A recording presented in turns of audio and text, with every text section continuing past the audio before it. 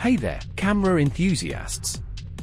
There's been a lot of buzz lately about Sony's potential next big thing, the FX3 II. Word on the street is that this bad boy might come packing a global shutter on a video-centric E-mount camera. Now, that's got folks talking. But before we get all worked up, let's dive into what we actually know, what's pure speculation, and whether this camera could really shake things up in the industry.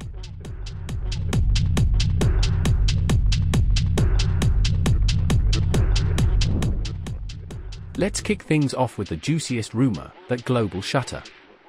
If it turns out to be true, the Sony FX3 II could be a real game changer, and honestly, it makes a ton of sense. For those of you who might not be in the know, a global shutter is a big deal in the video world. It's all about saying goodbye to that pesky rolling shutter effect that's been the bane of videographers for ages.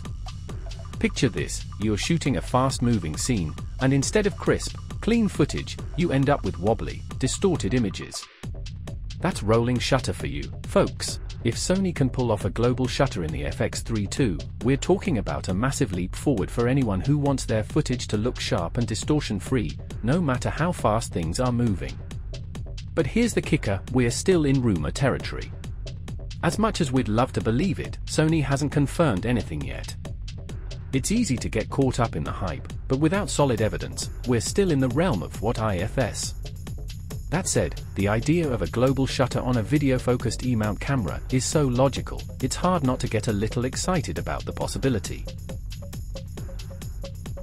Now, here's where things get really interesting. There's talk that the FX3 II might not just be an upgrade, it could potentially replace the original FX3 altogether.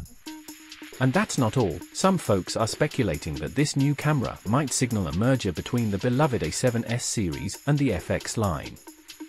For those who've been following Sony's camera lineup, you'll know that the A7S III, released back in 2020, has been a go-to for videographers.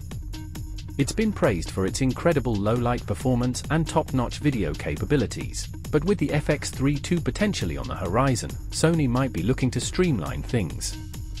At first glance, this merger idea makes sense.